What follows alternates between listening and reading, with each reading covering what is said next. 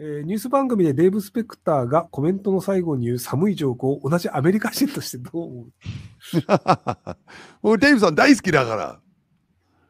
外国人が外国の冗談を言うってだいぶハードル高いから、僕はあれ昔からこの人すげえなっていう能力値の高さとして見ちゃってるんですよね。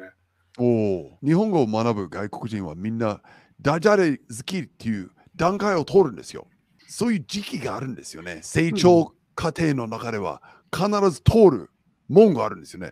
はいはい。で、デイブさんはその時期にずっとハマってるんですけど、でもレベル高いものは結構高いんですよね。えでであの、あれあダダジャレは卒業したんですね。あ僕はもう特に。でもダジャレ好きですよ。思いついた謎かけ言っていいですか？おはい、どうぞ。いきますよ。えー九州料理とかけまして、アントニオ猪木さんと解く。その心は、顎出し。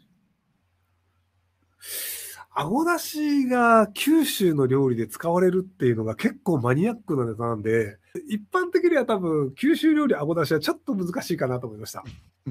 あだから言ったでしょ？料理番組で思いついたんです。あ、そうですね。はい、すいません。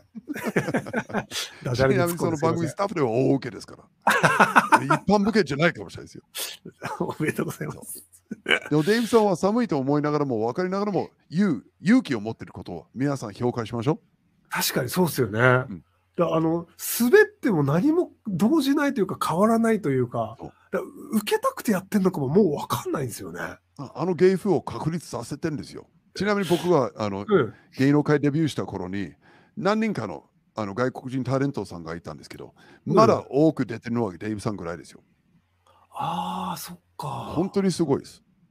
確かにサンコンさんとかウィッキーさんとかいなくなりますもんね。はい。確かに減ってきますよね。あれな、なんでですか？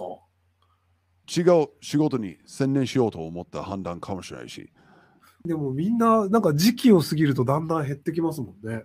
そう、気をつけないと。先輩のデーブ・スペクターさんに従ってダジャレ言い続ければ大丈夫なんじゃないですか？デイブさんの生き方です。僕の生き方ではない。